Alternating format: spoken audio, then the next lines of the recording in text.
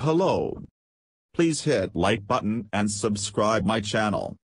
Also press bell icon for future video notifications. Thanks. Social media use has been linked to biological and psychological indicators associated with poor physical health among college students, according to the results of a new study by a university at Buffalo researcher. In addition to elevated CRP levels, results suggest higher social media use was also related to somatic symptoms, like headaches, chest and back pains, and more frequent visits to doctors and health centers for the treatment of illness. Social media use has become an integral part of many young adults' daily lives, said David Lee, Ph.D., the paper's first author and assistant professor of communication in the UB College of Arts and Sciences. It's critical that we understand how engagement across these platforms contributes to physical health. The findings appear in the journal Cyberpsychology, Behavior, and Social Networking.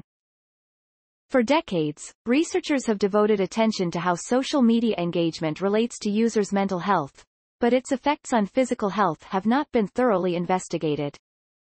Recent surveys indicate social media usage is particularly high for people in their late teens and early 20s, a population that spends about six hours a day texting, online or using social media. And though a few studies have found links between social media usage and physical health, that research relied largely on self-reporting or the effects of usage with exclusively one platform.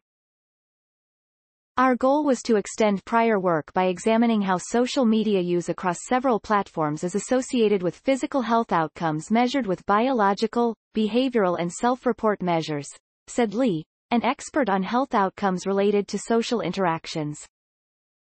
Blood samples were collected through fingersticks, and participants also completed questionnaires on physical health and social media usage on Facebook, Twitter, Snapchat, and Instagram, the most popular platforms at the time the data were collected in 2017.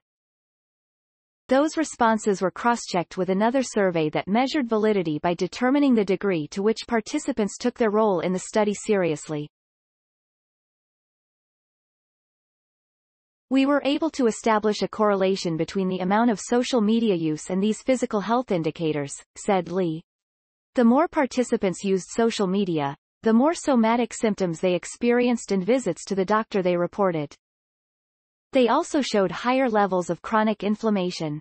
Lee says this study is just the beginning of understanding the relationship between social media and physical health. Lee says the aphorism could hold true with social media use and physical health. The rich get richer while the poor get poorer. In our previous research, we found those high in self-esteem benefited from using social media, but people low in self-esteem did not. So, the effect may be more nuanced. There's still work to be done, said Lee. But right now, I wanted to get the word out there that social media use may have a link to important physical health outcomes. Lee's research team for the current study included colleagues from The Ohio State University, Tao Jiang, a graduate student, Jennifer Crocker, Ph.D., Professor of Social PS. Original written by Bert Gambini. Note. Content may be edited for style and length. David S. Lee, Tao Jiang, Jennifer Crocker, Baldwin M. Social media use and its link to physical health indicators. Retrieved January 24, 2022 from ift.tt slash 3 keys ODM University at Buffalo. Social media use tied to poor physical health. Science Daily. ift.tt slash 3 keys ODM. Accessed January 24, 2022.